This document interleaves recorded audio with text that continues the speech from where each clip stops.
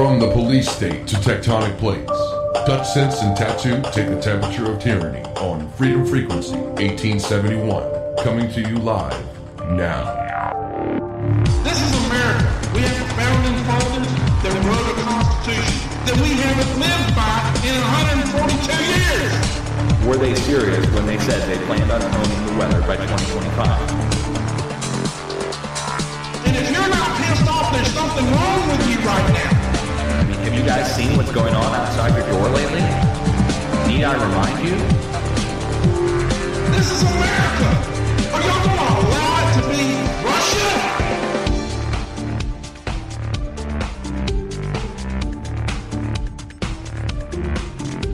Hello, and welcome in to Freedom Frequency 1871. This is your host, Dutchsinse. I've got Tattooed here with me, and our special guest host is back, Chrissy Sumer. You guys there?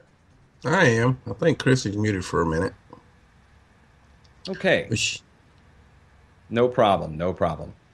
Welcome into the show, guys. I hope you all had a good week. Today is the 21st of February, Friday, and 8 p.m. Eastern Time. I want to thank you for tuning in.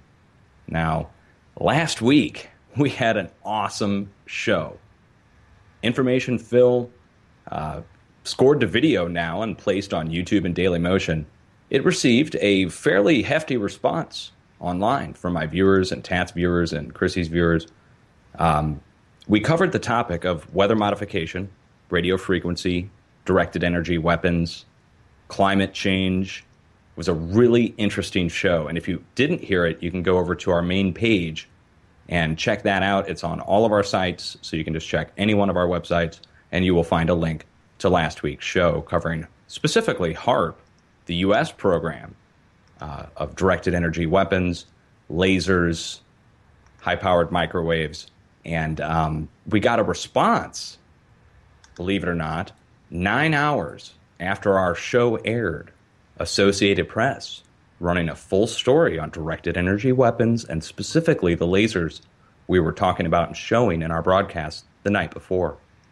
And we put that out just to, you know, kind of a hat tip, letting us know that people are listening and people are taking note. Um, in the last week, after last week's show, I'm going to go into some news that happened, Earth changes news wise, uh, that happened right after we got off the air last week or while we were on the air. Um, a series of earthquakes struck in the United States. An earthquake, uh, earthquake swarm struck in central Oklahoma, and a 4.2 struck in South Carolina.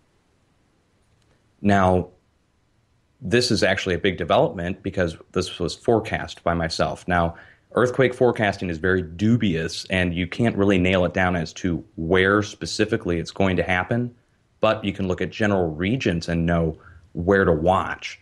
And we were watching the East Coast. East Coast got hit, watching Oklahoma, Oklahoma swarming away, and Yellowstone, watching Yellowstone, it's also experiencing an earthquake swarm. And if you are curious as to why that's occurring, you can go watch my earthquake updates.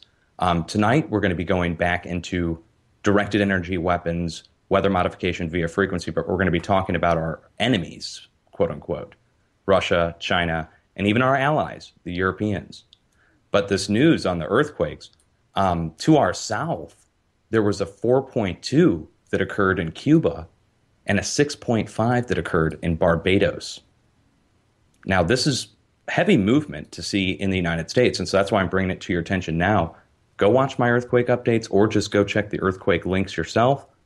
And maybe the time for developing an earthquake plan might be in order for you if you live in the United States. Midwest, East Coast, good idea just to have it, just in case. You might not need it, you may never need it. But when you do need it, that's the time to have the plan and have it ready to go. Um, last week, also after our show, Tattooed received somewhat of a response from the scientific community or establishment regarding his North Pole. Well, what do you want to call it, Tat? A debacle, fiasco? Uh, Tat has shown repeatedly now that the North Pole ice concentrations are 100% extending from Canada all the way to Russia Now, this is verified through multiple EDU links. You guys can verify this yourself. But never mind the facts, the mainstream media came out guns blazing, referencing something that Tat showed in his video only. They brought up the year 1979. Now, why would they bring up the year 1979? Why would the mainstream media issue multiple stories referring to 1979 all of a sudden? Well, it's because Tattoots video, he went back to 1979, started there, picked the year randomly. It went back, but he could have gone back further.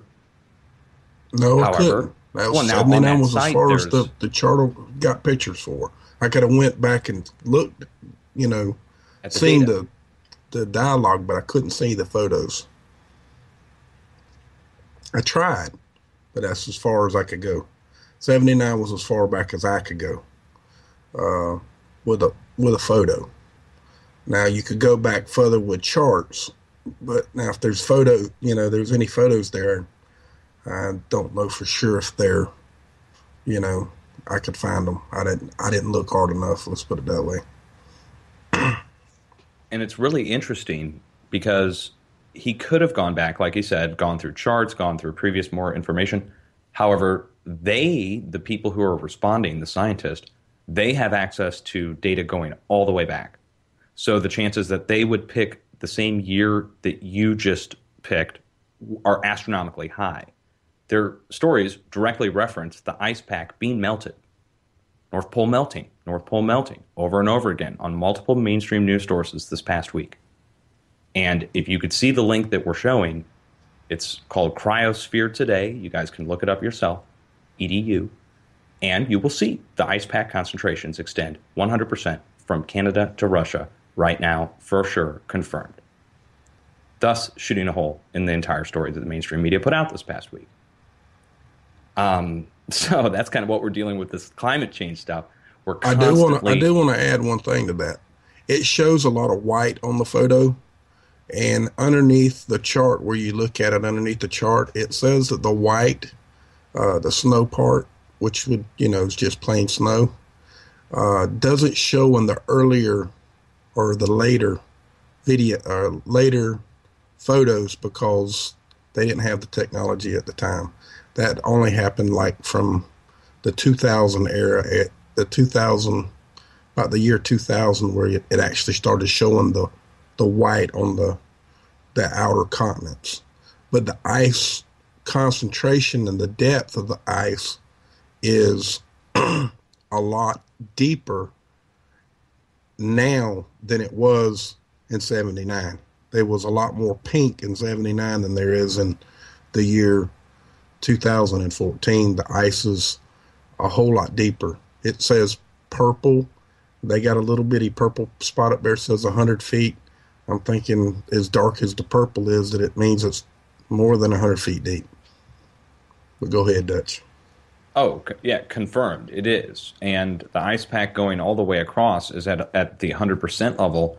Literally, you can check the charts, guys. And you don't have to take our word for it. Again, this is not a matter of debate. It is a fact. It's, if you're going to debate facts, then you are not a skeptic. You are a doubter. Um, speaking of snow going across the northern hemisphere, northern lights appeared over New England yesterday and there's pics from Mount Washington on the East Coast with green northern lights reaching down into the lower 48. Now, this is the result of an incoming blast of solar particles due to multiple uh, right below M class flares, and uh, that happens from time to time. Uh, that's just something that happened that was pretty cool to see that several of my viewers reported to me. And then it made the news the next day. Of course, it was on Yahoo and AP. Um, also, storms, big time storms, blew through the South and Midwest last night. Also, going to all the way to the West Coast, massive winds blowing in in Southern California, just taking down trees, even blowing roofs off houses, and that was on clear on a clear night. Um, I brought up the earthquakes earlier. There was also in the news, and this you probably didn't hear about it. They're not going to be talking about it on CNN. A 4.2 struck Southwest England. Hmm. Southwest England, yes. And it's very rare. Don't normally see much earthquake activity uh, between England and Ireland, but there it is, a 4.2.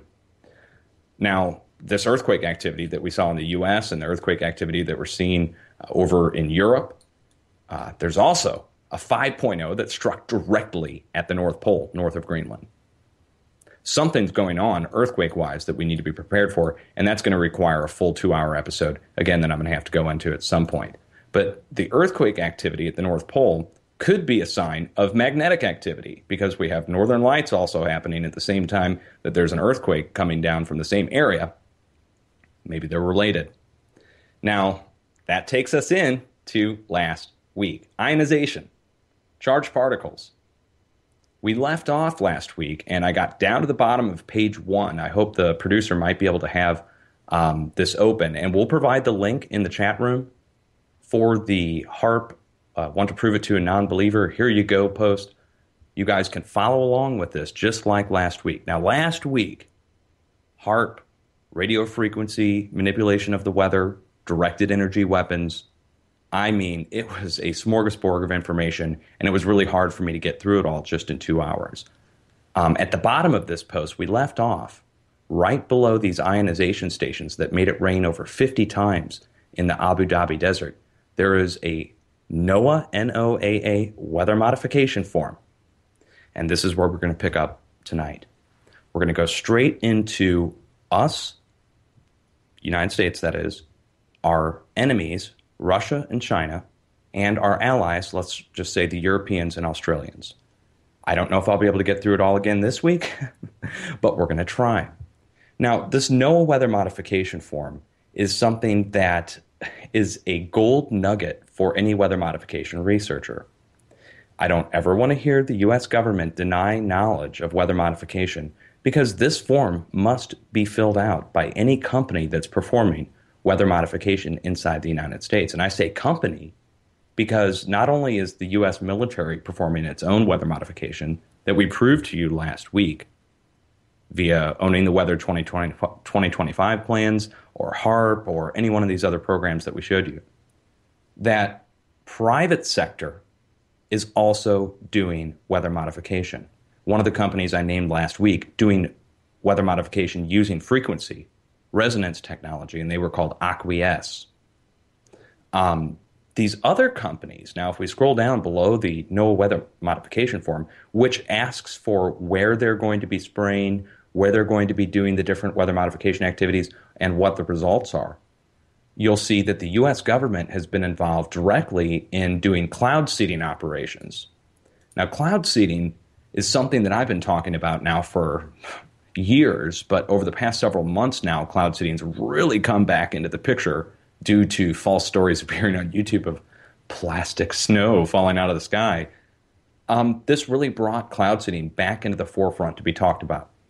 Now, cloud seeding, slang term chemtrails, which is fine to use. You can use the term chemtrails.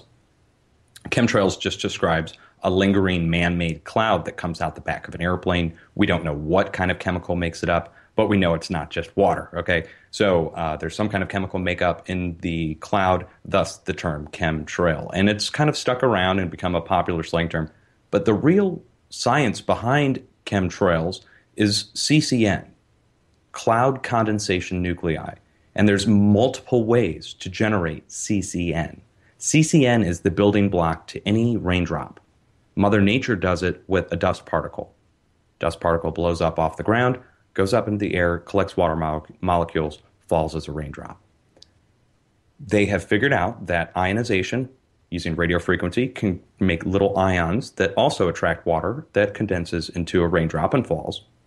And the US government is doing and has been doing particulate matter spraying of silver iodide, let's say, small particles of silver iodide, used via um, usually a spray apparatus of some kind, whether it's a flare or a nozzle, um, and they fly around different areas and do cloud seeding. And in this post, you'll see the USGS doing it over uh, the Medicine Bow National Reserve in, I think it's Wyoming. If you're, I used to live in Colorado, if you ever drive up to Yellowstone, you drive right through Medicine Bow. It's beautiful. Well, they're up there spraying silver iodide for snowpack enhancement. Now, you could look into the reasons why the USGS is involved, but it has to do with aquifer management, water authorities, USGS being involved, of course, uh, due to multiple tectonic issues uh, in the area with Yellowstone, Wyoming, of course. Um, if they're going to be building any kind of heavy water reserve or filling an aquifer underground, of course they're going to be consulting the USGS. Maybe even the USGS themselves would be doing some kind of aquifer management to maybe help with the supervolcano that is swelling and rising in the area.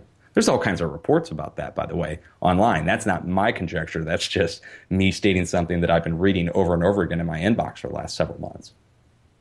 Now, below the USGS post are the companies. And these are just a few. There's a lot of companies doing this. Now, I'm going to read to you a couple of them, and then we're going to get into our enemies. Okay? The other people that are doing this, the other corporations that are doing this. Now, these private corporations here are supposedly helping us. They're helping with um, trying to get more rain for our crops. Okay? Um, also, trying to help with building aquifers so we can have drinking water. So, West Texas Weather Modification in Texas trying to help, according to their own words, you know, to help farmers and to help you so you can water your lawn. WeatherModification.com uh, is Weather Modification Incorporated has a, a website called WeatherModification.com. You can go there and read about all their clients. You can read about their operations and their plans for the future. It's not nice to mess with Mother Nature, but go ahead. I agree. Messing, once you start messing with Mother Nature, you can never stop. Once you direct the flow of a river, you're never going to stop trying to direct the flow of that river unless you want it to come back on you. And most people don't want that when it comes to a river. Do they want that with the weather? That's the question. Do you want to control the, the weather like we control a river? People don't have a problem with directing the flow of a river unless it comes over them. Then all of a sudden, everybody blames the Army Corps of Engineers for directing the flow of the river. But they have no problem using that water that's siphoned off from that redirection. It's a question you got to ask yourself. So these companies that are doing it are real people, private people, private companies, moms and dads, sons and daughters, making a profit, charging to do it. They're not doing it for free, guys. They're doing it on on a dollar basis per acre, and that's per acre they're flying over or covering. So think about Texas, for instance, the millions of square acres that they are charging to spray on. Okay. Now, there's another company called Desert Research Institute. They are based out of uh, Reno. I think they're based out of Reno, Nevada.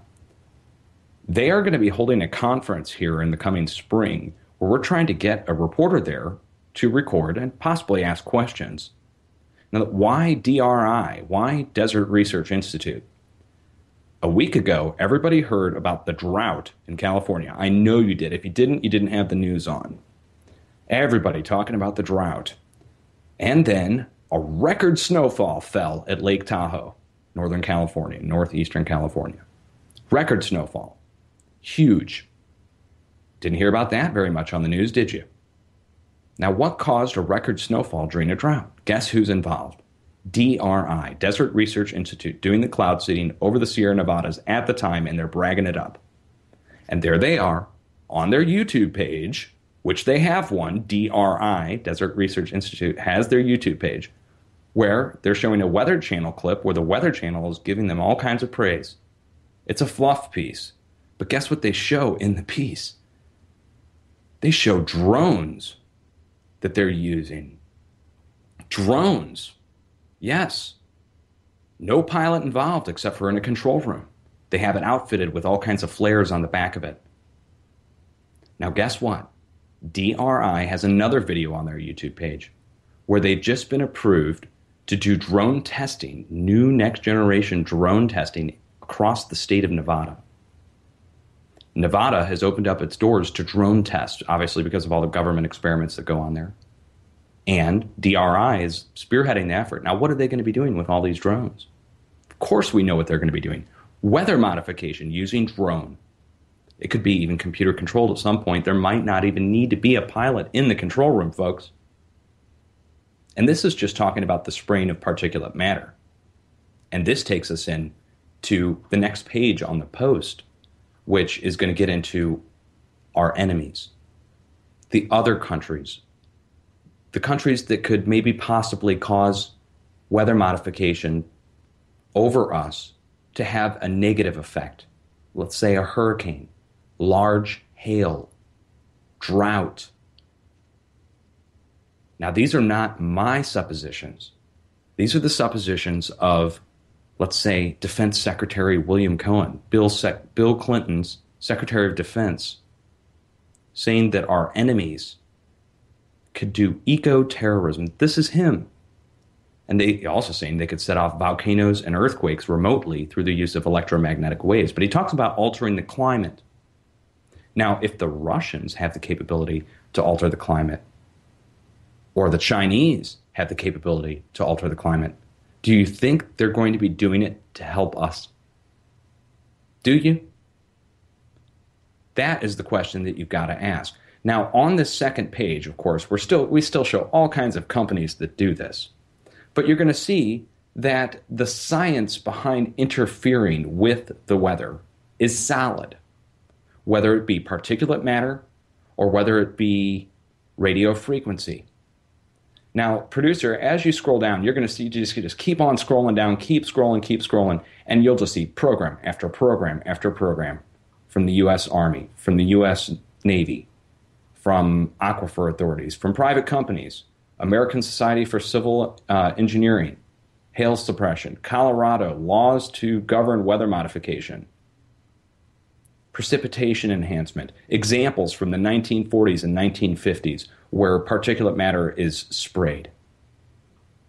And it really becomes obvious that, that the world has been lied to about weather modification. That it's been, first of all, it's been taking place for a very long time. And secondly, the programs that have been in operation are very expansive and expensive. They cover entire continents. We're paying for it. Now, producer, as you scroll down, we're going to get all the way down, and you're going to see a thing called um, outlawing the use of VLF to HF weapons. And we are about halfway down the page, and it's a congressional bill, H.R. 2977. And this was introduced by Dennis Kucinich. Now, of course, I'm not taking sides politically, but I'm going to read this to you. And this has to do with space based weapons and outline the use of space based weapons. Hmm? Space based weapons? What are you talking about? I thought that there was no such thing as Star Wars. Well, apparently, talk in Congress says otherwise. Now, they're, they're talking about the Space Preservation Act. This is 2001, the Space Preservation Act. And I'm just going to read to you a few lines out of it. I'm not going to read the whole bill to you. But uh, they want to outlaw uh, expelling chemi- chemical or biological agents in the vicinity of a person, outlawing exotic weapon systems such as electronic, psychotronic, or information weapons, outlawing chemtrails. And that's in the bill, guys. Chemtrails, all one word outlawing high altitude, ultra low frequency weapon systems. Isn't that implying that there are ultra low frequency weapon systems in the first place? Outlaw plasma, electromagnetic, sonic, or ultrasonic weapons. Outlaw laser weapon systems. Hmm? Wait, wait, hold on. Outlaw laser weapon systems? Didn't we just show you for the last seven days all the footage of the U.S. Navy outfitting their new ships and their trucks, uh, the U.S. Army outfitting uh, trucks with laser weapon systems? Now, this falls under space based weapons, but they're talking about generally laser weapon systems to be outlawed. Now, obviously, this failed. This is a big deal. But this is here in the States. This is just us. And of course, it failed here. If it fails here, well, can you imagine what's going on internationally? Now, below that bill, we're going to start looking at some pictures. Now, I'm going to describe the pictures to you, and I'll put this in a video so you guys can understand um, and what, what we're talking about here. Maybe you can watch it on YouTube at some point. Um, we've got a break in five minutes already, but I should be able to get into the first couple facilities here. Now, the first picture is look, something that looks just like HAARP that we were talking about last week a series of tall antennas spaced out into a grid.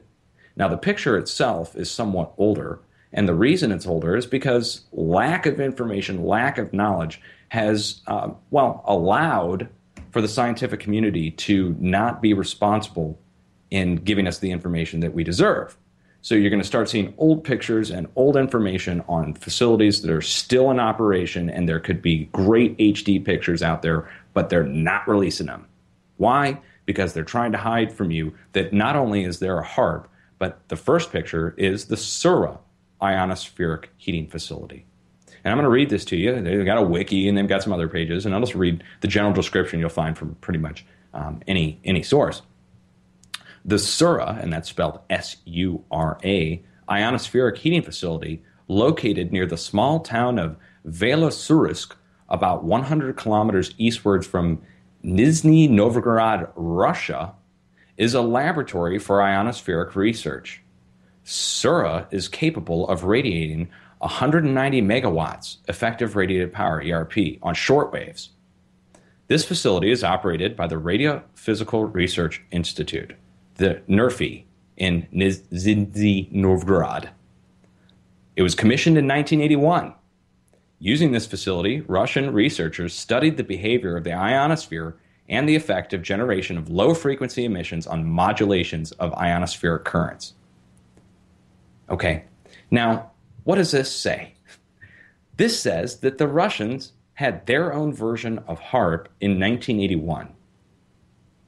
Now, wait, doesn't that mean the Russians are ahead of us? Doesn't that mean that the Russians knew and know more than we do on the topic of radio frequency manipulation of the weather? Yes, it does, because they had the woodpecker before we started. Firsthand know that. I heard it for myself. Yes, Tat is talking about a signal that is heard by shortwave radio operators around the world. And they still hear it to today every once in a while. And it's a signal that comes out of the old Soviet Union, now Russia, right next to Chernobyl. Chernobyl, the uh, nuclear reactor that melted down, guys. They built a massive radar facility right next to it and pulse and hit Chernobyl every day, or almost every day. Now, why do they do that? Why pulse it and hit it with radar? Well, this is a question that we're going to have to get into after the break because this touches on what we were talking about last week with HAARP and stripping of electrons from the atmosphere. This is some profound science we're going to get into here about radiation, and I'm talking about nuclear radiation and radio frequency and the effect of radio frequency on radiolog- radiological substances substances that are radioactive. And this is profound science that I think most of you would be very interested to find out even exists or is possible. But this Sura facility, we're going to go to break here in a second, guys. Let me give out the number. We're going to take callers at the start of hour number two. So we've got another 30 minutes before we'll even be able to take calls because it's going to take me 30 minutes to get through these facilities. Uh, the number is 314, or I'm sorry, 567 314 9296. And again, that's 567 314 9296. And uh, Chrissy, I haven't even given you a chance to talk. I am sorry. I've been one flowing stream of consciousness again this week. It's crazy. It is okay. It's okay. I'm listening. I'm learning.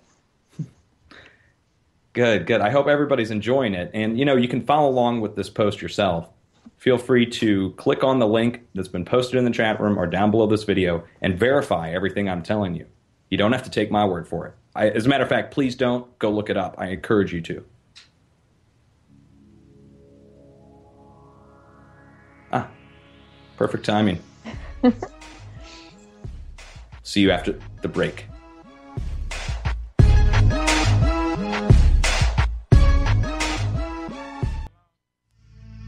doTERRA Essential Oils, true gifts of the earth, provide you with the perfect prepper tool, the Family Physician Kit. 10 certified pure therapeutic grade oils to provide the support you need for your family's wellness goals when sheltering in place or bugging out. Visit essentialnewparadigm.info and ask how you can receive $100 in free product and 25% off each and every order. Don't delay, your family's health depends on you. Health depends on you. Thanks for listening to FPRN. Don't forget to check us out on Facebook and Twitter. If you'd like to start your own show with FPRN, advertise with us, or donate to the network or to your favorite shows, check out our website at www.fprnradio.com.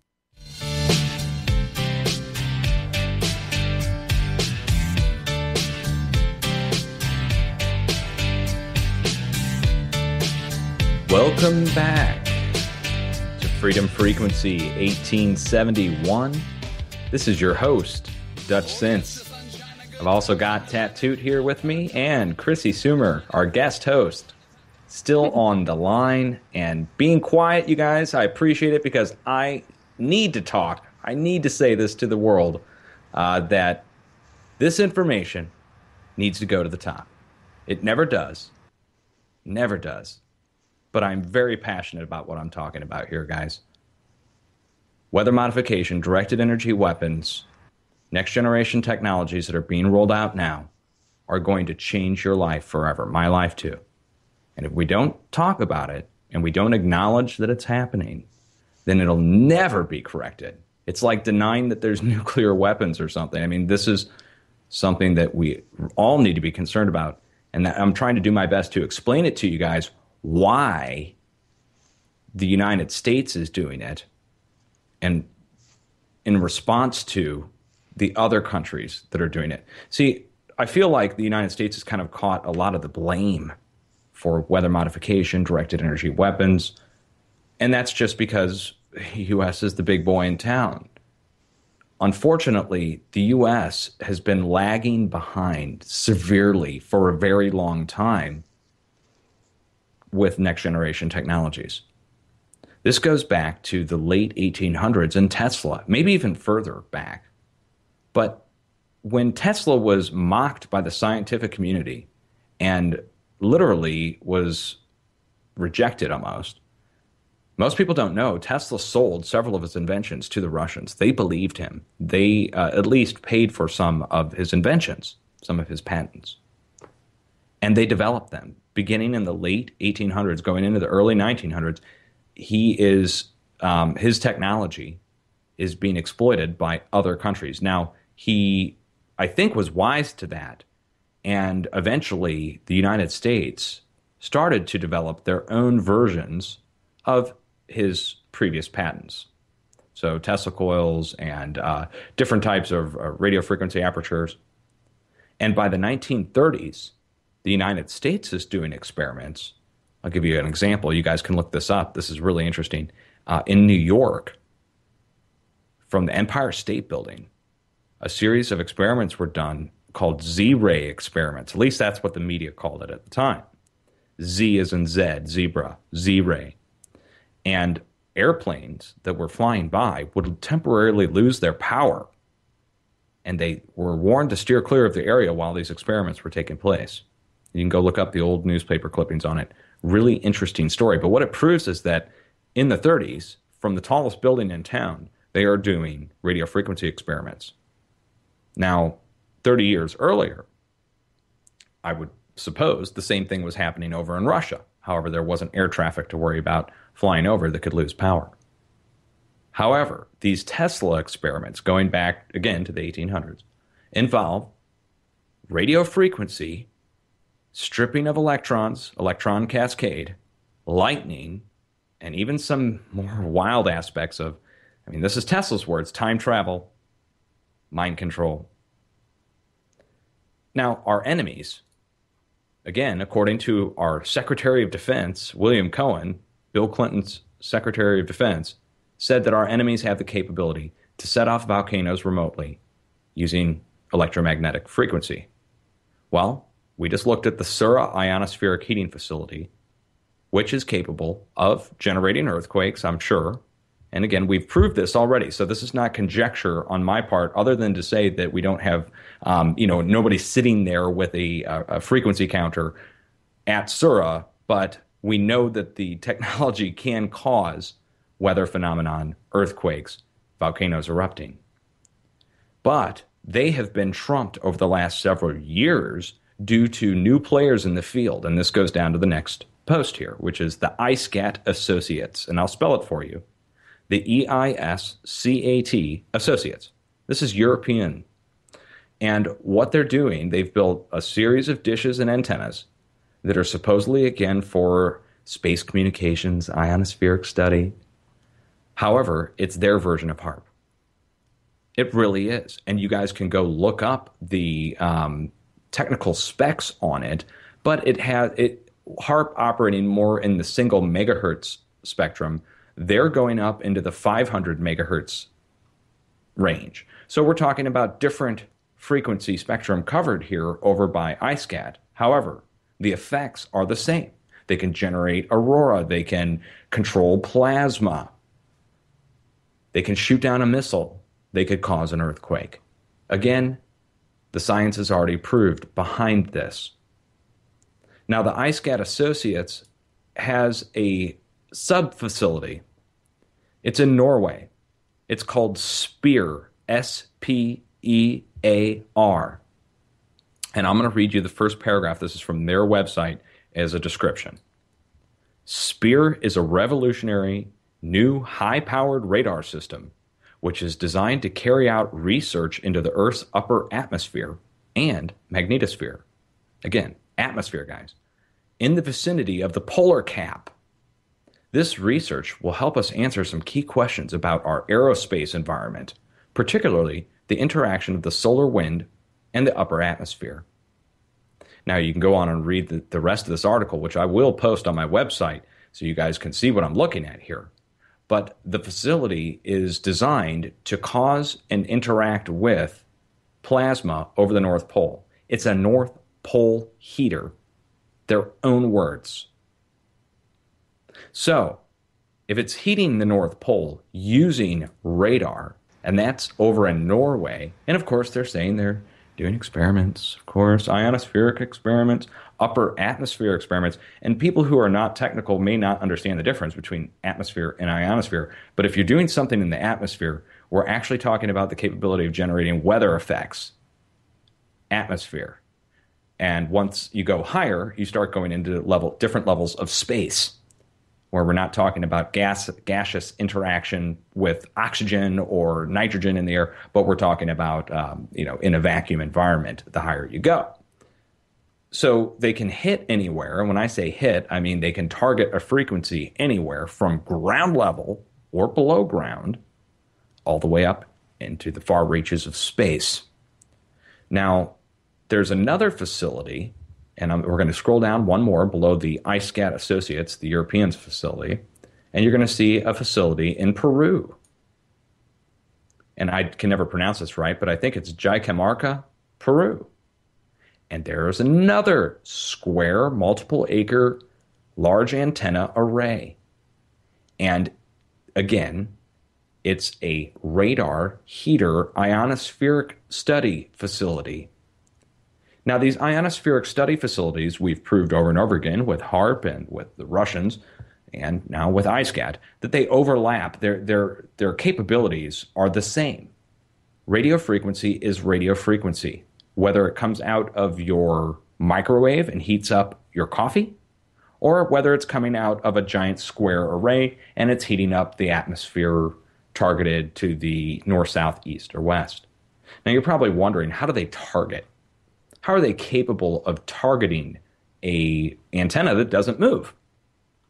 They can literally modulate the antenna using power itself.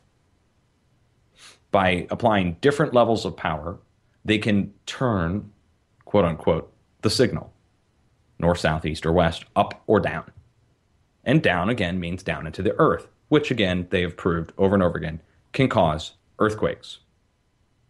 Now, this Jicamarca also has a radar facility there, and you'll find out that radar and ionospheric atmospheric heating go hand in hand and they overlap and interchange. You can use a radar to do the same thing that Jicamarca radio antenna array can do, only on a smaller level, over a smaller area, targeted to a much smaller point. Now, why do we have that capability, let's say? Well, I would say we have the capability to target our radars and cause pulses that would show up uh, and have a weather effect is to defend ourselves, possibly, from the other countries that have the capability to terrorize us. And when I say terrorize, that's not my words. Those are the words, again, of William Cohen, Defense Secretary. And this is a big deal because if our enemies beat us to the punch and have the capability to cause an earthquake, let's say, we need to have the capability to defend ourselves and possibly retaliate, right? I don't think anybody would disagree with a defensive capability for any of these technologies that we're talking about. Unfortunately, what we've come to find out is that there are no laws governing these things, first of all. This goes far beyond anything. This is this is something that is going to have to be addressed at some point in the near term future um, for these facilities, which is they're interacting with places that are very far away from their home country. So these there was a UN law that prohibits weather modification and even space-based weapons um, from the 1970s, and countries were only allowed to operate weather modification-wise, let's say, over their own country, and they can't have an effect on the overall climate. They can only affect local climates, and that was the rule. Well, if Sura can heat an area, or HAARP can heat an area, or EISCAT can heat an area over the North Pole, that's not their territory. That is international territory, which means there needs to be international laws that govern these things like we govern nuclear weapons. It's just as devastating as a nuclear weapon to generate a plasma field multiple kilometers wide in the atmosphere at 5,000 degrees for over an hour. Uh, isn't that the equivalent of a uh, at least a small nuclear weapon? Maybe not radiation wise, but for sure heating wise. The surface of the sun for over an hour? I mean, that's longer than a nuclear blast, actually. Now, speaking of the surface of the sun, we can scroll down one more picture below this Jicamarca and you'll see the Arecibo. Arecibo, yeah, we've all seen it in all the movies. There it is, the big dish in, in the ground. Arecibo. Well, what's Arecibo doing on here? Arecibo has been co-opted in as part of a ancillary facility, if you will, for the HAARP program. It's taken part in experiments with HAARP. You can look this up. You don't have to take my word for it. It's in the Wayback Machine. And you can see that they're um, doing different ionospheric research. They're using Arecibo to, let's say, look at a plasma event generated by HAARP. So using Arecibo like a radar to look at a, a plasma density and, and, see it, quote unquote, even though it's not visible to the naked eye.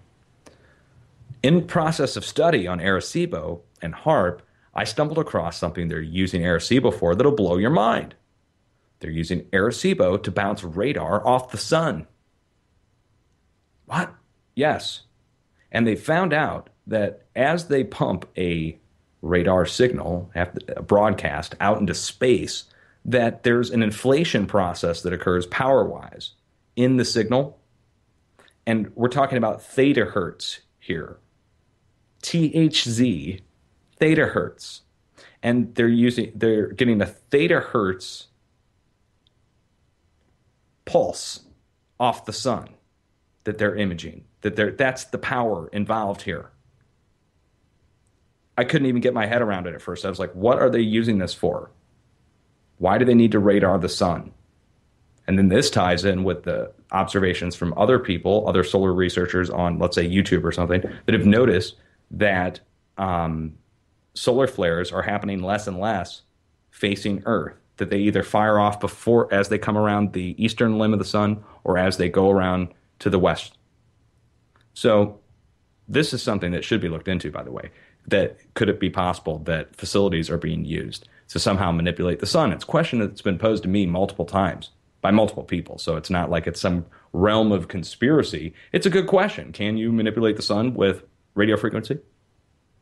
Now, this goes into the other U.S. facilities that tie in with HAARP. And again, these were all built at the same time. So when you're like looking at, um, uh, you know, within 15, 20 years of each other, all of these places have been built. So there's been an arms race, I, almost like an arms race. Like you can imagine with nuclear weapons, you know, my nuke is bigger than yours. And they, are going back and forth. Now, the Europeans um, trumped us supposedly with EISCAT.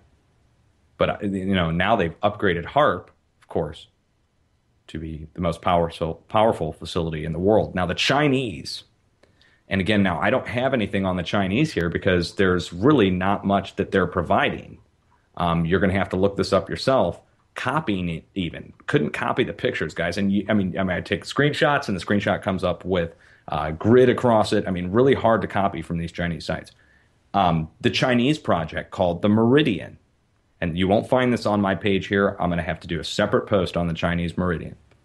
But to sum up the Chinese project, it is 10 times bigger, I would say, than the US current project with HAARP. And it covers the entire continent of China, of Asia, but specifically across China, from the North Pole all the way down to their southernmost point.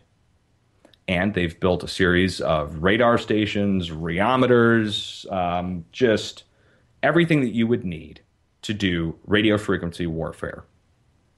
Now, they do it under the disguise of ionospheric research. If anybody tells you that they're just using this for study, they are naive, I think. You know, they're just being intentionally, willfully ignorant, or they're lying. Um, there's no other explanation for that. I, I cannot overlook the weaponized capabilities that have been talked about by the multiple militaries around the world when they're saying they're going to use it for destroying a missile. And then we have a scientist come along and say, no, no, no, these facilities are only capable of generating small little phenomenon in the ionosphere. No, we're talking about generating multiple kilometer wide plasma bubbles at 5,000 degrees that are capable of melting missiles, which we've proved this past week showed multiple shots of the U.S. military using high powered lasers to knock out airplanes, knock down incoming mortars, and that's just with a targeted light. When you target a radio frequency, they have proved now over and over again that they are capable of generating plasma. And plasma, again, guys, is direct visible energy that they're generating. It's not, this is not invisible. When they actually are generating a plasma ball, there's pictures of it. They have actual pictures of something multiple kilometers wide that's 5,000 degrees floating there in the sky that they can move around. That is, to me, is the ultimate force field. It is the ultimate missile defense shield. It is the ultimate weapon. It is the death ray. The death ray. Going back to Tesla, guys. And it's not science fiction it's science fact. It's they've already did it. They did the experiment at the start of 2013 with the plasma ball using radio frequency. Imagine if they did that at a ground level over a city multiple kilometers wide. What would happen? What if one of our enemies did it? The Russians, right after Japan, the Japan earthquake in 2011 that killed 15,000 people and generated a uh, massive tsunami a Russian parliament member got up and took credit for it, shrugged his shoulders, and said, We have a new weapon that's capable of sinking entire continents. It was on national TV in Russia to a news reporter, and she's smiling, and she just went on to the next question, like it didn't even get said. And this guy is high up in their Congress.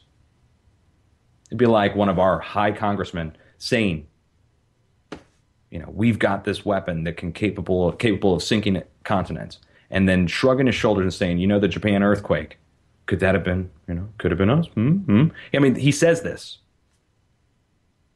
and I, I don't think they're bluffing. When I see the U.S. building huge facilities, going through massive misinformation campaigns to distract the public and lie to us about what we're doing, you know, this goes back to the story that HAARP was closed. I think the producer actually has a link um, it's the ARRL Amateur Radio League uh, post. And this is what got the ball rolling for Tattoo and I in a huge online battle with every disinformation nerd out there about what's going on and what's capable. And this story appeared on this, this amateur radio league site saying that HAARP is abandoned. Currently, the site is abandoned. It comes down to money. We don't have any. They first they say there's no money, then they say diesel generators. It's ridiculous. This story, and it got promoted across. Infowars picked it up. All the mainstream picked it up. YouTubers made videos on it. Oh, did you hear HAARP's closed? Did you hear? I said, Are you kidding me? That it's been budgeted out till 2017 literally paid for till 2017. They didn't run out of money. What are you talking about? We've got uh, the budgets posted. Now, why would they do that? Why would they try to convince us that HAARP is shut down? Well, it has to do with what's going on behind the scenes, guys. There is, I would say, a borderline war that is occurring between us, Russia, China, our allies, of course, Canada, UK, Australia, the other two kind of on their own. But there is a weather war going on currently, if you ask my personal opinion. Can I prove it? Well, I'm looking around and I'm seeing a lot of strange stuff happening weather wise. Some of it can't be us doing it to ourselves. It's not natural. You try and tell me it's natural? Really? not you guys, but whoever's out there trying to tell me, you know, don't tell me it's natural because I don't believe you.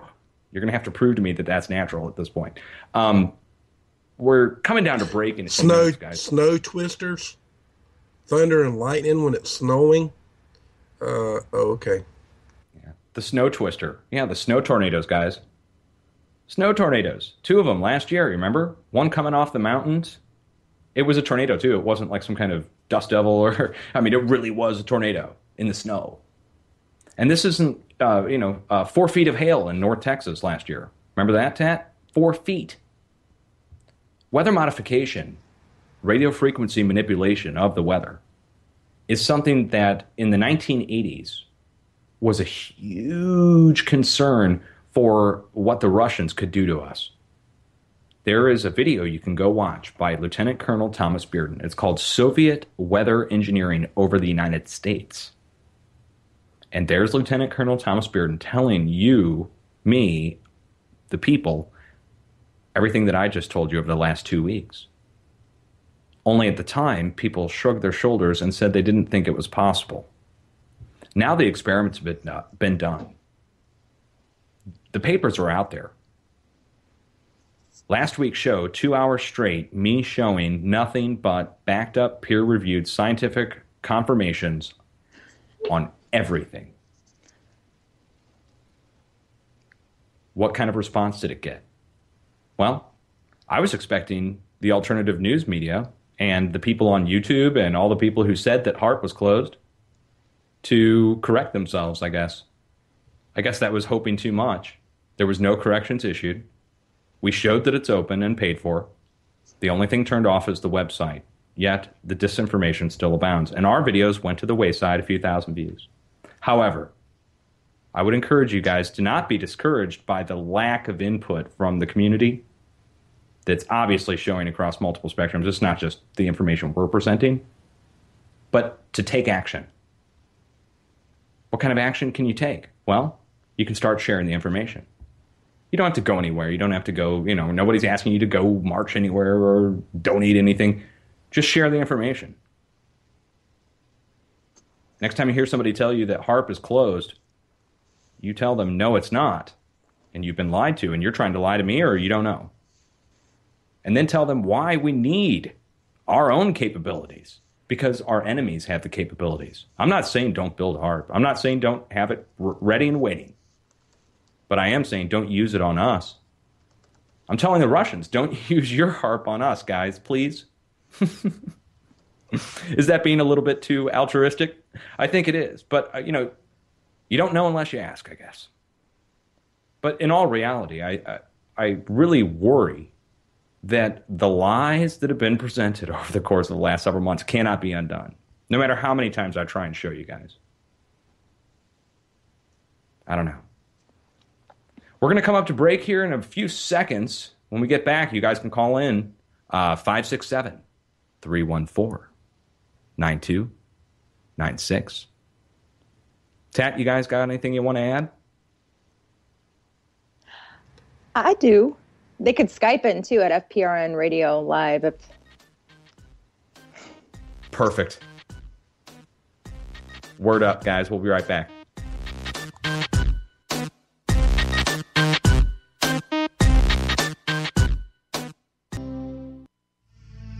doTERRA Essential Oils, true gifts of the earth, provide you with the perfect prepper tool, the Family Physician Kit. 10 certified pure therapeutic grade oils to provide the support you need for your family's wellness goals when sheltering in place or bugging out. Visit essentialnewparadigm.info and ask how you can receive $100 in free product and 25% off each and every order. Don't delay, your family's health depends on you. Health depends on you. Health depends on you. Thanks for listening to FPRN. Don't forget to check us out on Facebook and Twitter. If you'd like to start your own show with FPRN, advertise with us, or donate to the network or to your favorite shows, check out our website at www.fprnradio.com. Who can believe the Warren Report with all that's happened since then? Blue blooded people on the highest court. That's what I've heard again Welcome and back again. Freedom Frequency 1871. This is your host, Dutchsinse. I have Tattooed and Chrissy here on the phone with me. I hope you guys are still here. yes, Excellent. Guys, we've been going into the radio frequency spectrum for the last two weeks now. First, starting on HAARP, going through Air Force owning the weather 2025, directed energy weapons like high powered microwaves and lasers. Then, now, we've, for the last hour, I've kind of blathered on a little bit about our enemies and why we need the capabilities um, that we've got. But the Russians, being a good 20 years ahead of us at least, in just the beginning foundational aspects, and then, of course, carrying on um, into an era in the 60s, 50s, 60s, and 70s where we were in complete denial, and meanwhile, they are in full development. You know, they beat us in the space race, guys. Come on. You know, we This played that true. down. Yeah, yeah, we we played it down a little bit and and you know said that you know we we were going to get to the moon, right? Did we? I yeah. don't mhm. think so. PR wise, we did, I guess. Take you fly right to the moon. But yeah, um, television, television took us to the moon. Right, TV baby. That's where they you learned how to know- brainwash people. Yeah, they did. The, you know, guys, if you believe the space program the way it was, I, I don't even know what to say to you. I, I, I'm not going to say that we didn't land on the moon, but I'm going to tell you there's some definite, definite misinformation going on there from our end. If they landed on the moon, they got technology way beyond what Russia does and way beyond anybody else to this day. I mean, Right. that's all there is to it. They got some kind of force field that co- surrounded that ship to protect them to go to the moon with human life on it. That's just all there is to it. I'm not Well, saying that they didn't go. I'm saying if they did go, they got technology that they're still not telling us. And I mean, they're not telling us at all. Not nothing. They're not whimpering a word about it.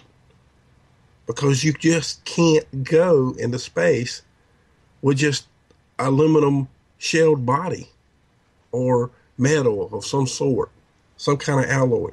It's got to be something else that they took them past that that area where they can't go. There's just no way. Unless they have technology that we don't know about. And I mean, we're talking about the 60s. We didn't have technology like we got. We didn't have computers. We didn't have cell phones like we got today. We were still dialing on the telephone. Dialing. Y'all rem- does anybody remember how to dial on the telephone? I mean, that's what you're talking about that, that that's a there's a lot of technology there between all of that. I mean, Nice. something I mean, it's a. I mean, it, that's just my opinion, though. Don't don't take it for gospel, but I mean, that's there's seriously something to that. I mean, there's just certain things you just can't go beyond unless you mm-hmm. got the technology. Now, if we had the technology, I'd be the first one to say it.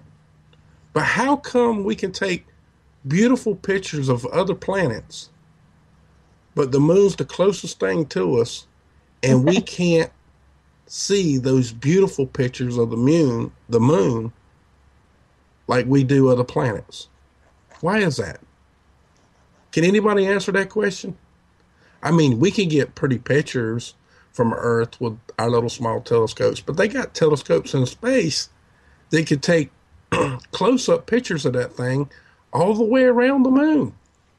They could actually send a light on the dark side of the moon and light it up so they could take pictures of that too. But why don't they? Why think- haven't they? I think they have. They just don't release them to us. They give us the r- low resolution. They're hiding something. Who knows? It's a conspiracy. There you go. It got to be a big one. I wonder myself, you know, why not? Why, why don't we have a satellite around the moon, an awesome lunar orbiter that gives us just top notch pictures in the dark, infrared, whatever? Why not? Why is it not there? But we got one on Mars, or we're supposed to have. Is that real? Or is that fake too? Wow. I mean, you know. Hmm. I mean, they did come out and say they found the Ten Commandments on the moon. I mean, on Mars, in a cave. Oh, God. They really, yeah, they did say that. NASA, s- that's a report from NASA said that. But hey, is it true? I don't know. NASA, never a straight answer. It never, you never get a straight answer about nothing. We got two callers. It looks like. Oh, okay. We got some. We got four callers on. We've got Greg, God be one, unknown, and Ali. Uh, um, yeah. Okay. Well, you know what? Real quick, guys. Um, this week, you know, we're really just talking about hypotheticals. We're talking about our enemies, quote unquote, who aren't really our enemies, right? They're our friends. We're all friends behind the scene. It's just a matter of one defense against the other to promote each other's economies. This next generation technology, though, what we showed to you this past week, this is no joke. Projectile weapons, planes, tanks, bullets. That's so 20th century, guys. Time to get in the 21st. Go look up everything we showed you over the last two weeks. You can verify anything that I told you about the U.S. programs. You can also verify any of these other facilities. Next week, we're going solely into radar. HAARP rings. Dun dun dun. Here we come. You ready? HAARP ring time, guys. Yeah. Oh, yeah. Bring it on. Mick West. Maybe I can get a hold of Steve Quest. All right. Let's go to um, first caller on the phone. Greg. Greg. Is this Greg? Greg? Greg? Yeah, Yeah, I think uh, so. Are you, are you guys there? Hey, you sound great, brother. How you doing? Hey, hey, we finally connected without a snafu. Good. Good. Have You sound wonderful. have How you got me doing? on video? Do what now? Do you have me on video, Skype? I No. Want. No. Can you bring it up? Um, yes, we can. Okay, do that, and then uh, and Dutch, thank you for covering that Arecibo thing that we were talking about last Friday after the show. Mm-hmm. Oh yeah, Uh, yeah. I I, told you I'd that. cover it, and and That's Arecibo guys. I, that you know that was bothering me so much. I go, man, there ain't no way that this is going on without some sort of influence. In fact, I wouldn't be surprised if every now and then I'll get to watch one of these Vandenberg launches go over my house. Well, not over my house, but I can watch them from my binocs when they launch a satellite or that uh, X47B.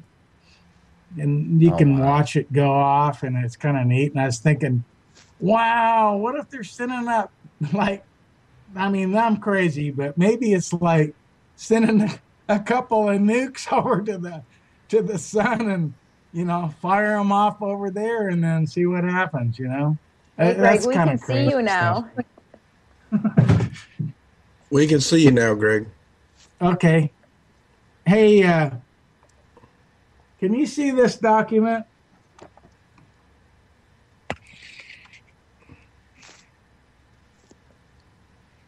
Does it say weather modification on it?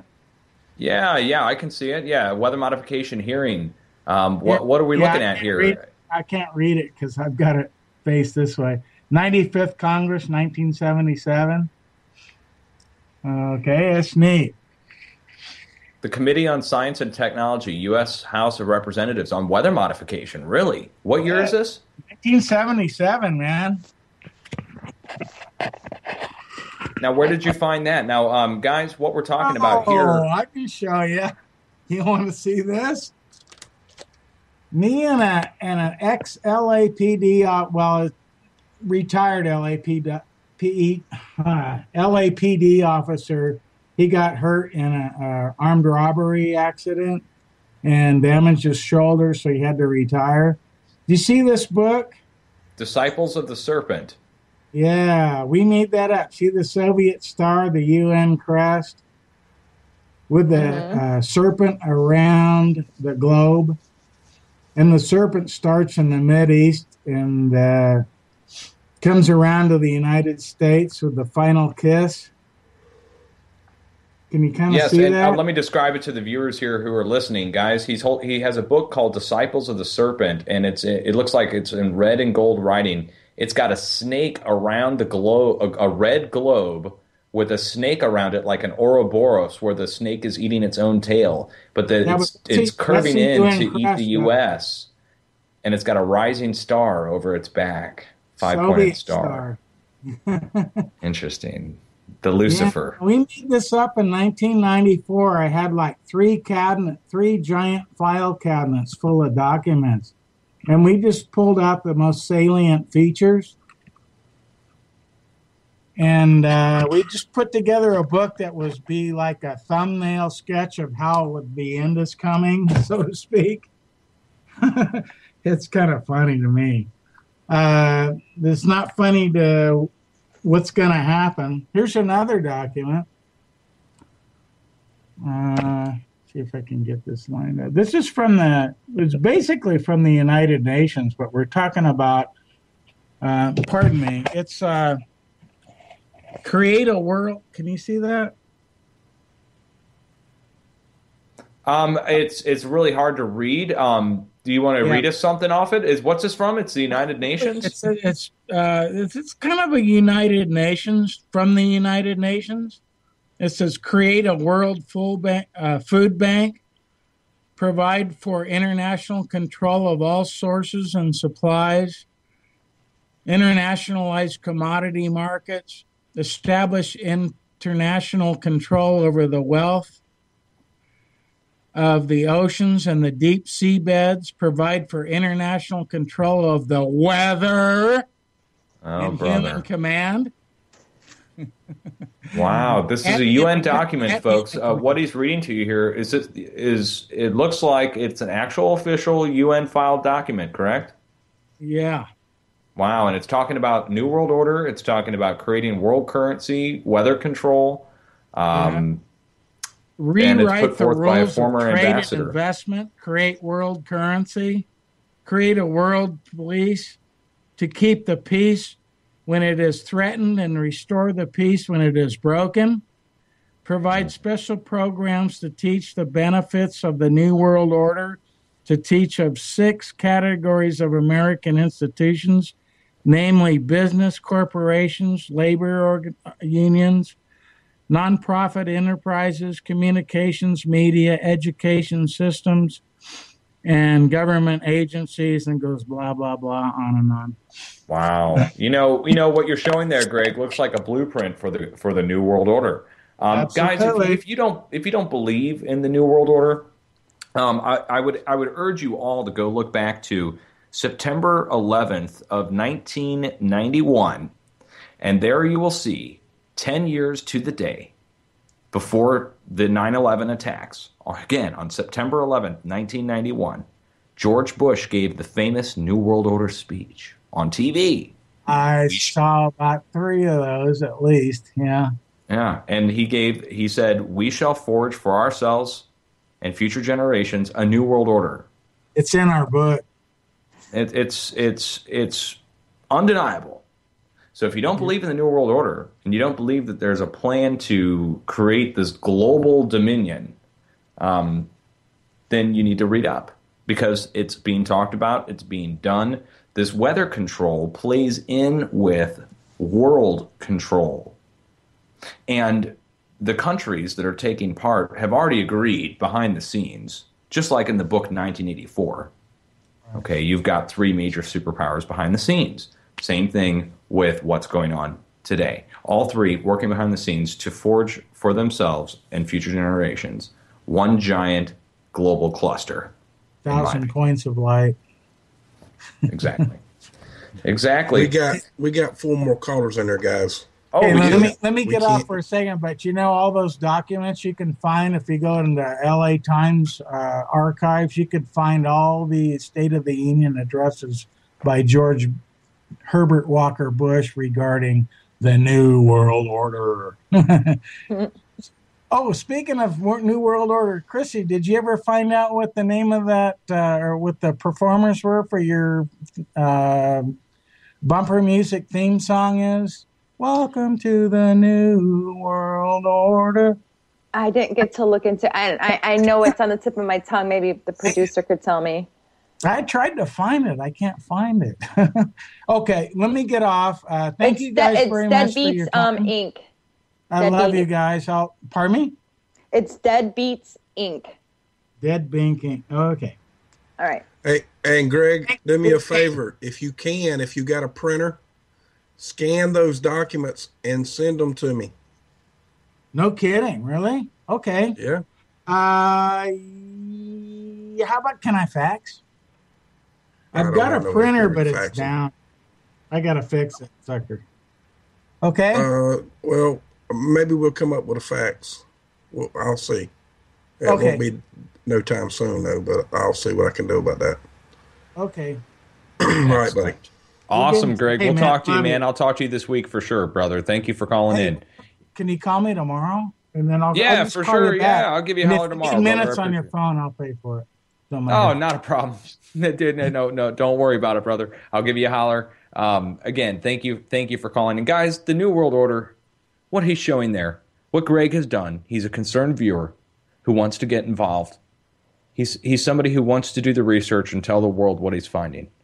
And I would hope that he is inspiration for any of you who are waking up or trying to find something to do or see if you can help change things sometimes even just finding a document like that, something from the UN that says uh, a new world order should be forged. That is something that is amazing.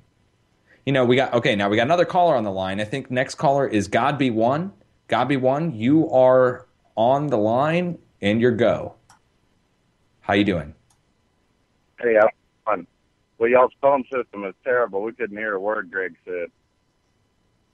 Oh no. You couldn't hear anything? But uh, yeah. Uh, Oh, couldn't- brother, man, I I'm- I'm sorry. Yeah, the new world order thing, the Agenda 21. I mean, that that that horse has been beat to death. That was all. We already signed up for that stuff, like you said, in '91.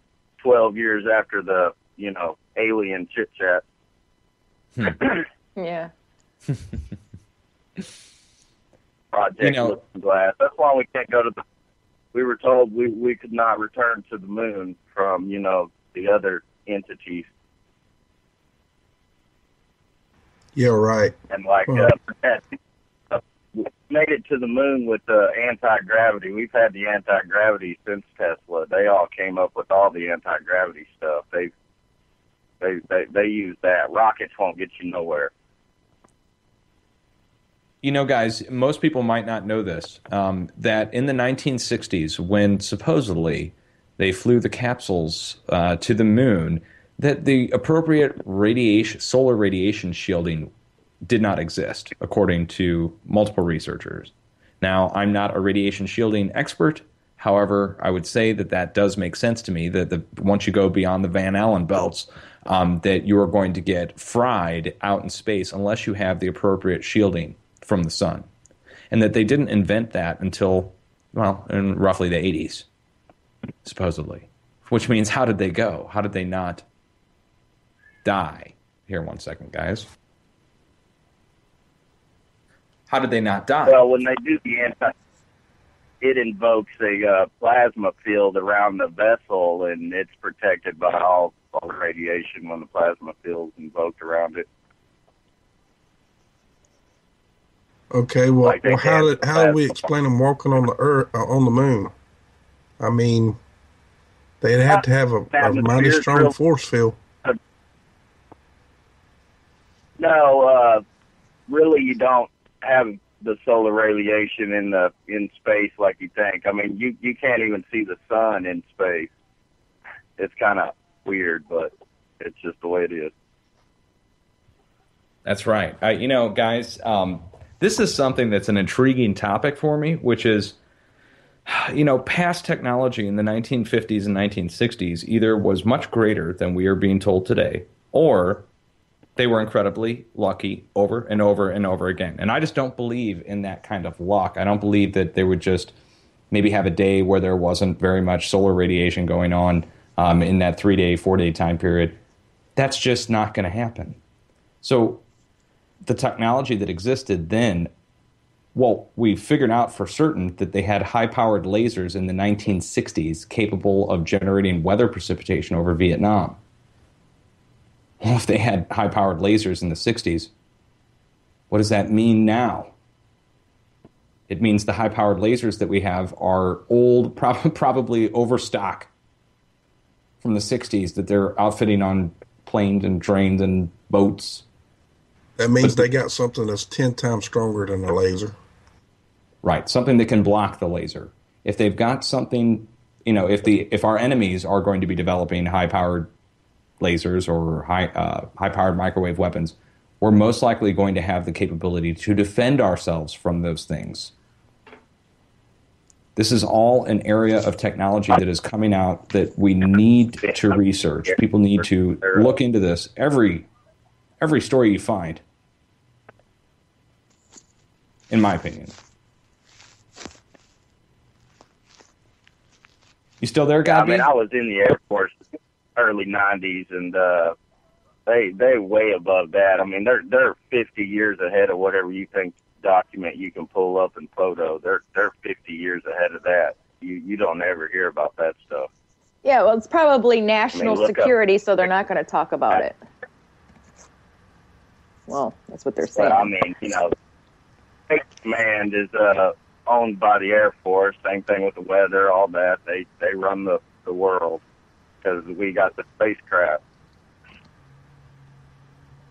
I mean, they, they don't fly from here to Mars. They they walk to Mars through Project Looking Glass at S4. They they just dial up and walk on to Mars. What is this? Project Looking Project Glass? Looking I've Glass. never heard of Project this. Looking Glass. Isn't that the one where um, what's her name was talking about it? Oh, I can't remember. I have never heard of this one. This is, you know, very rarely do I hear about a, a uh, you know, a conspiracy that I haven't heard of. Looking Glass, huh? What is it like? Inter- interdimensional travel or um, subspace travel or something? It's. I guess you can look at it like Yeah, it's, it's an elevator. Teleportation. Yeah, basically. yeah. Tesla. It's Hey, a it's a combo that does teleportation and it'll do a two year look into the future. That's how most of these politicians actually win their elections. Is um, they're they're rigged. They got a two year head start. Well, all these all these concepts that we're discussing here are theoretically possible. Again, theoretically. Now, we most likely have some of this capability. Tesla. Let me give you guys a quick story before we go to the break. Tesla was struck by a bolt of electricity, and this is his own story in his diaries. That he was struck one day when doing an experiment, his assistant was there operating the controls. When he was struck, for a, he said, for he didn't know how long, but multiple seconds for sure, he came outside of himself and saw his past, his immediate past self, right before he got struck. He saw his self as he was being struck, and he saw himself falling away after the assistant had turned off the lightning or the electricity. I guess they were generating lightning. That would be the most accurate description. So, as he's being struck by a bolt of lightning, he is going outside of space time for a, a microsecond where he observes himself physically seeing all three at once past, present, and future. When the guy shut it off, when the assistant shut it off, he came back into his body. And he didn't die, obviously. But what does that mean? These are things we're going to have to go into. Um, we're going to go to break Government here, and uh, if you want to hang on the line, uh, we will get back to you right after the break.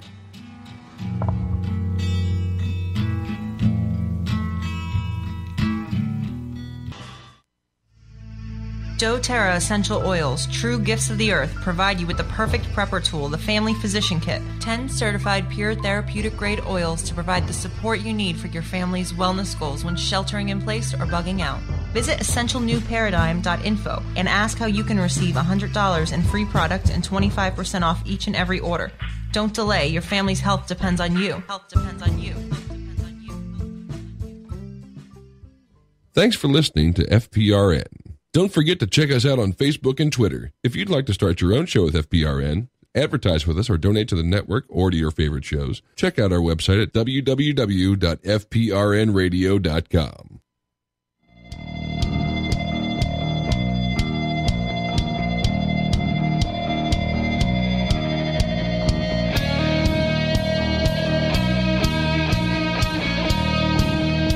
Welcome Freedom Frequency 1871. This is your host, Dutchsinse. I have Tattooed and Chrissy Sumer on with me, and we've had a great discussion going on so far. Uh, you know, just kind of glossing over all the different enemy capabilities, uh, the people who are involved with radio frequency manipulation of the weather, ionosphere, the planet, directed energy weapons, and now um, our caller, God Be One, right before the break, was taking us down a road that just really I find is is scientifically intriguing, which is the concepts of interdimensional travel, force fields. Indeed. He also said before the break was over that uh, something about Tesla was still alive. Would you? Uh, did you say that, Godby, or did I just mishear you? Yeah, yeah. Tesla's uh, he reincarnated as Dr. Patrick Flanagan. This has been verified to the United States Air Force that he was Tesla through secret projects only with the Air Force. Or, you know, at that time it was the Army. Uh, yeah, you can. What's look his him up, name? Dr. Patrick Flanagan. I've never heard that either. Tonight's a Uh, night of first for me, guys. This is great. These Flanagan. these are great. Patrick Flanagan. Oh, dude, I'm high up in the tech world. I'm gonna have to look into that one. I, you know, um, We got it. Damn, I wish the radio, the the phone was connection was better. yeah, it's taken a minute for it to connect through. But you know, as for um, you know, past lives, guys, General Patton, World War II. I mean, this is famous general. Everybody looked up to him. Everybody, you know, there's movies made on him. A great hero in American history. Believe he was reincarnated. Hannibal. A reincarnation of Hannibal, the famous general from 2,000 years ago. Now, do I believe that? I don't know, but I mean, I believe that they believe it, and if there's some backing up to it, if there's some kind of verification that can be done to it, don't au- automatically discount it. Um, Tesla, you know, guys, Tesla could have easily done his own time travel experiments. He said he he personally had figured out something to do with time travel. That's in his own notes. Take it for what it's worth. It's pretty interesting, though. Yeah, Definitely very interesting. That's how they verified Don, uh, that Patrick Flanagan was Tesla is through some secret. We call it the David gun. It's what they shot down Comet Ison with. It's a gigantic, you know, pulse weapon that's out in space that can. It's a planet killer. The Death Star. Yeah. Get Darth Vader on the phone, will you? Um, no, for real. You know, this is, is something they've tried to show us in movies again and again, which is that we do have capability of planetary destruction of some kind. And I oh. would say when Tesla is quoted as saying that they could split the planet in half, that's his own quote, that the planet could be split in half using radio frequency. That's not good.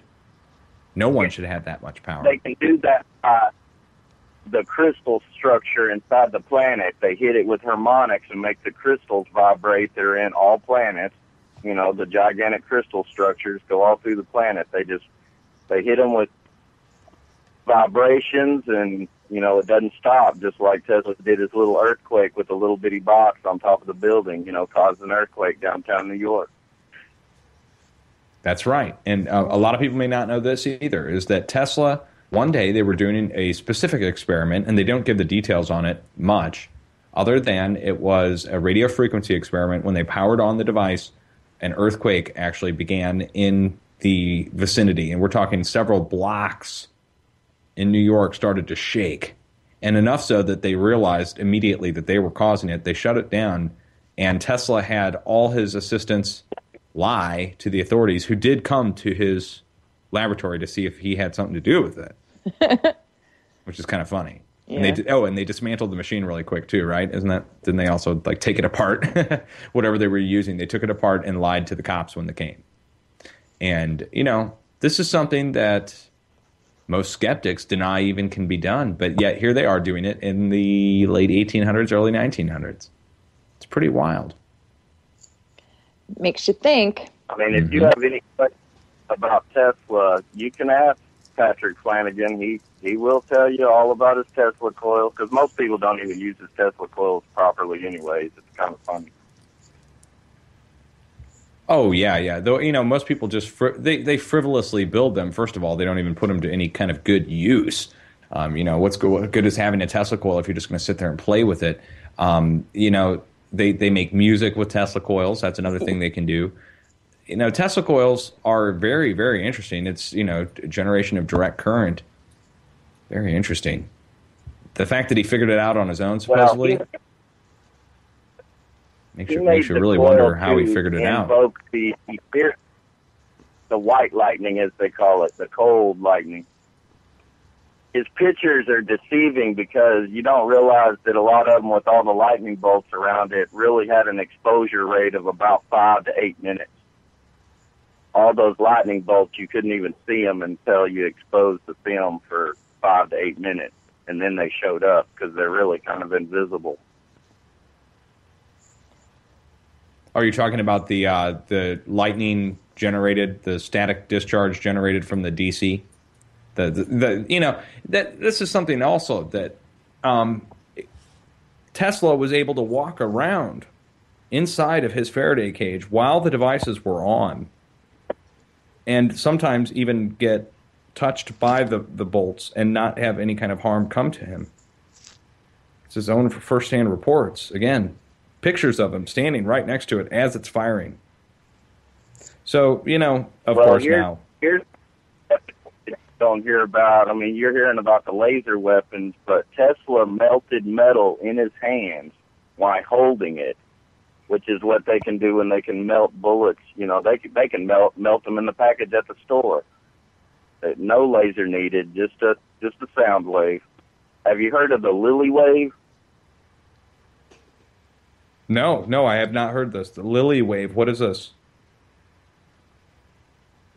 it's a compound wave that they put on the you know they can ride this on any kind of frequency they put it on it's on all the electrical they put the device inside the power plant which puts out this Lilly wave and that's how they actually do the mind control or mess with their emotions you ever feel like you're just getting super emotional and you don't know why That's the Lilly wave. Yeah, do some research into that. You'll, uh, you know, you'll you'll just be astonished. And for those of our listeners who who you know don't believe that the mind can be influenced using radio frequency or sound wave, sound, even sound waves, actually they've even found. Um, but our body itself is made up of electromagnetic discharge. Um, each cell is producing its own electromagnetic field. Every cell in your body combined, you have a, a combined actual electrostatic presence, your own force field. It only extends maybe an inch or two from your body, but you know how when somebody comes close to you and you can feel it, that is not just a feeling of close air, that is actually a feeling of electrostatic discharge, which means your body carries its own magnetism. Oh, look, look And up it sounds like my cat away- agrees with me yeah. on that. Look up how far away your heartbeat can be detected. That can Well, be I a wouldn't long even way. know. I guess it would depend on the, the sensitivity of your um, detector. No, I would assume your that they could do it with a satellite, even maybe. You can pick the heartbeat up from almost a mile away.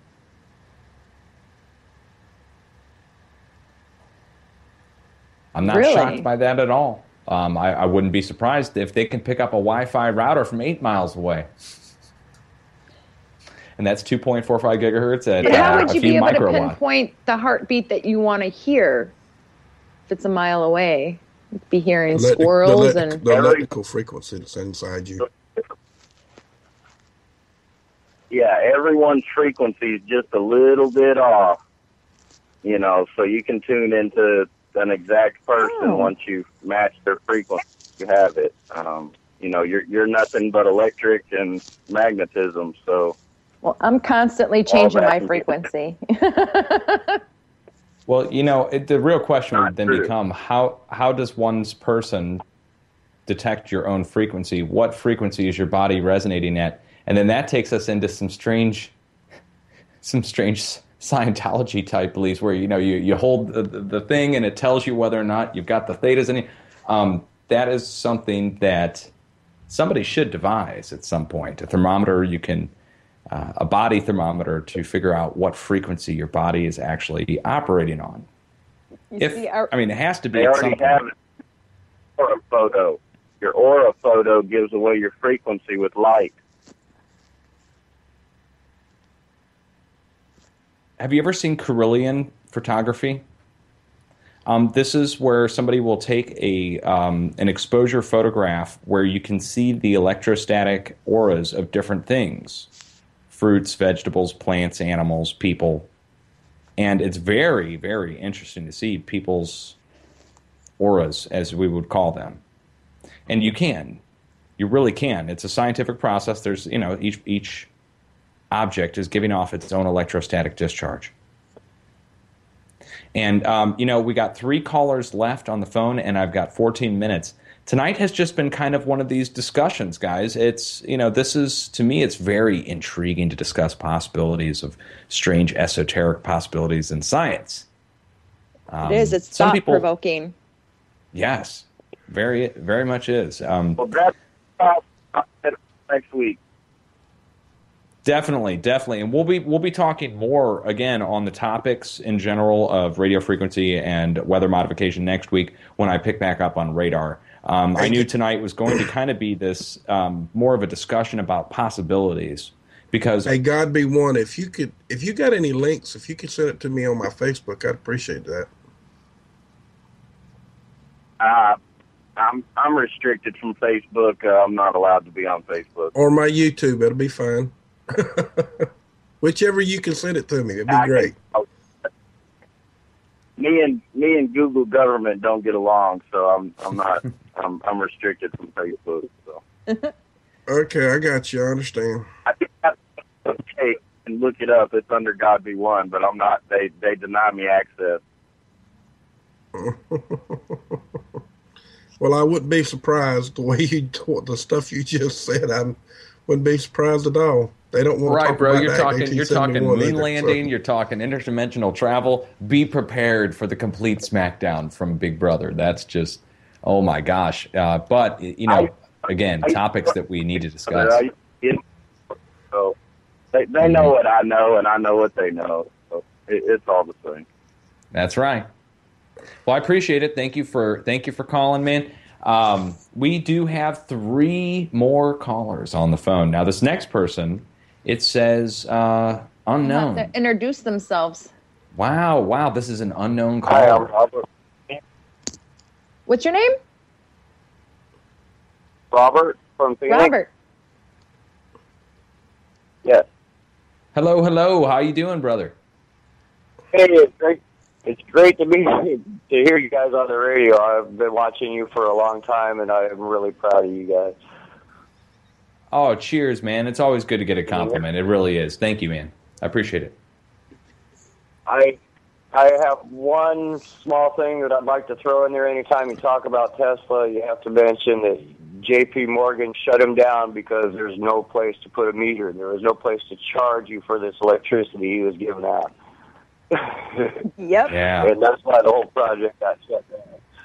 Oh, since you brought up that guy, J.C. Morgan, there is a new money running out there, guys. I don't know if y'all heard about this. I just heard about it today myself, and I still got to do some research on it about new money. It has something to do with transferring of money, and we're already using it and don't even know it. It's invisible money. Debit. I, I just heard it. I am. Yeah, I just Credit. it's wild. It's, it's it was way out there. I, I couldn't listen to the whole thing. And I got to go listen to the rest of it. But that was it was kind of weird. Well, But isn't- it's funny isn't that you mentioned money- that, Robert, because we were talking talking about J.P. Morgan and Tesla before the show started, weren't we, guys? Mhm. Yep. Yep. Yeah, the the bankers see banking and energy go hand in hand. You could just say energy is money, and money is energy. Yeah. It's it's the driving force behind what runs us, to like form a new gasoline, right? You know what over I Ought mean? to be if you can uh, create uh, electron of electricity, and that's what we ought to be sharing instead of uh, cash, because uh, it needs to be something based on some kind of value that can, everybody can use and everybody can create, so there ain't no hoarding of it. I think that a lot of the um, weather manipulation and stuff like that is pretty crazy, and I don't think they really need HAARP anymore. I think they can do everything with these antennas that they have all over town, everywhere you go. Um, and I believe I'm- trying to I'm gonna give out an invention to the world right now. If you guys um, are enterprising and you want to make a billion dollars, please remem- remember me when I give this to you. Now, the um, NASA and JPL in 1975 did the experiment. They were able to transfer wireless power using 2.45 gigahertz and a radar dish at 500,000 watts. They were able to transfer. Oh yeah, they're 35 doing it now. They're they're pumping up energy. They're sending natural gas and the electricity up into the air, shooting it back down to wherever they need it. But they can't charge us for it, so they're not going to tell us about it. If they could, they'd be bragging about it. Yep. Yeah. Now here, here's the way it'll work, guys. If you want to make this, or if you want to make this invention, it's so simple. Already out floating around in the air right now, coming from the National Weather Service, is two gigahertz at five hundred thousand to seven hundred and fifty thousand watts, free floating out there in the ether. And all you have to do is make a receiving antenna that runs to a tube, and the tube then runs to a battery bank. And the microwave frequency is picked up by the antenna, goes to the tube, the tube lights up, produces electricity, sends the DC current down to your battery bank, and you've got free wireless power at your house for as long as you want it, as long as there's free floating ambient energy out there. All you got to do is make it. There it is. Listen back to you this have to broadcast, guys. If you you're an inventor, you can do it. Yep. Y'all were talking at the Hello? same time. What'd you say, Robert? I think you have to. If you invent that, you have to give it to the world for free. Because if you try to get any money for it, they're just going to bury it. Whoever buys it from you is going to bury it, and they'll never see the light of day. I just gave it to the world, bro. Somebody can make. I mean, Yeah, I- I seriously, seriously, it'll I- work. I It really will. I promise. I hope somebody does it. And maybe it'll quit radiating us and killing us. They, they found out how to like take the energy out of the air a long time ago. but I don't think everything works as good as they say it does. Your submarines run run aground. Um, you know the airplanes can't land on an aircraft carrier because they put the tr- tail hook in the right in the wrong place. Um, Yeah. Technology is good, but I think it's being sold to them at the top, you know lowest bidder. Definitely. They they, they will uh, pay the least and charge the most. That's rule number one of the U.S. corporation, guys. Seriously, it's to make the most off you, you and me. We got six more minutes and we got two more callers. I don't think we're going to make but one, but we need to try. All right, we got one more call. Hey, right, well, again, thank thank you for calling in. Um, again, call in next week. We'll be having a much deeper conversation on this. Um, Thank you, Robert. All right, cheers, bye. bro. Cheers. Bye bye. We have Ali next. Ah, Ali, awesome, Yeah. awesome. Welcome back, sir. Hey, thanks so much for taking my call. You guys appreciate it and uh, great night. I learned a lot so far, that's for sure. Um, just wanted to make it real brief tonight. I forgot to mention it last week on air. Um, I've been I've been testing the rainwater, or what if you want to call it rainwater, out here in Southern California, and we are about five six miles away from the ocean. And when I look up natural water, it's got to be somewhere around 7.0, I believe, on pH. Yes. And um, so there's there's not too much pollution around us, and and actually um, we're surrounded by trees where we're at. But I've been testing this water, and it's coming out 5.0 at most 5.5.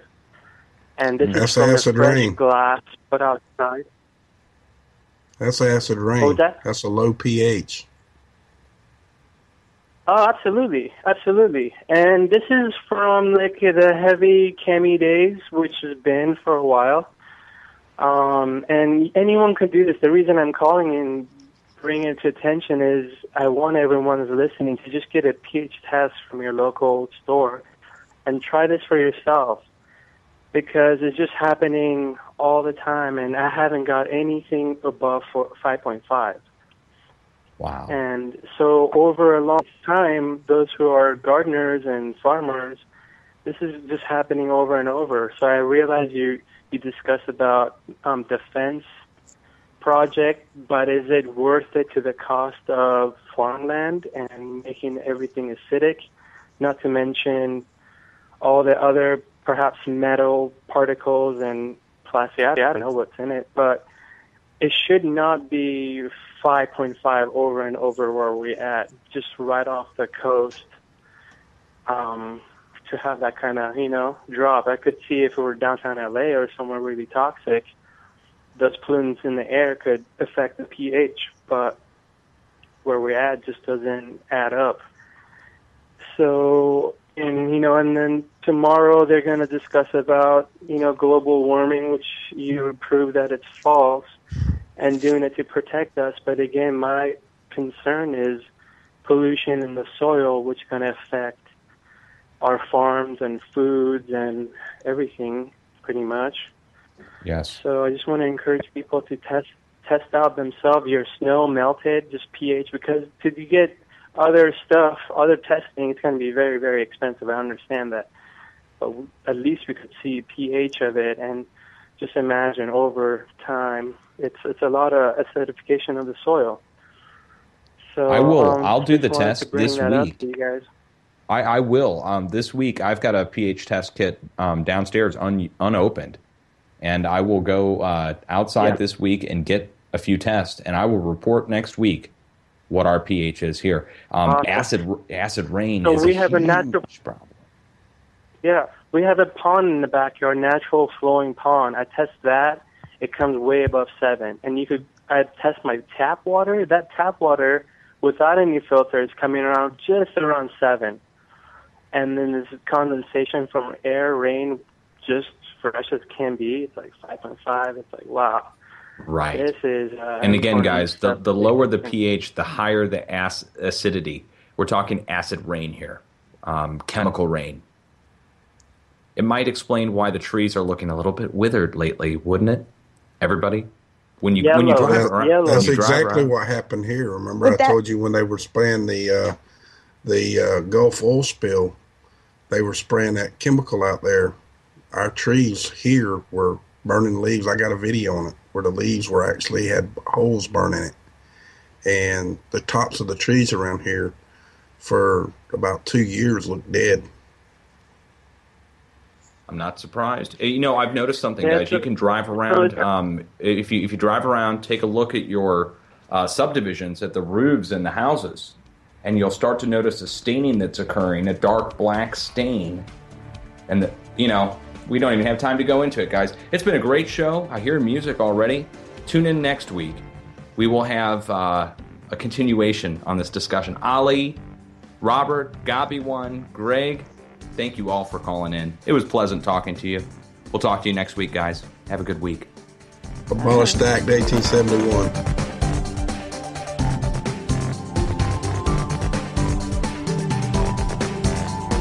Thanks for listening to FPRN. Don't forget to check us out on Facebook and Twitter. If you'd like to start your own show with FPRN, advertise with us, or donate to the network or to your favorite shows, check out our website at www.fprnradio.com.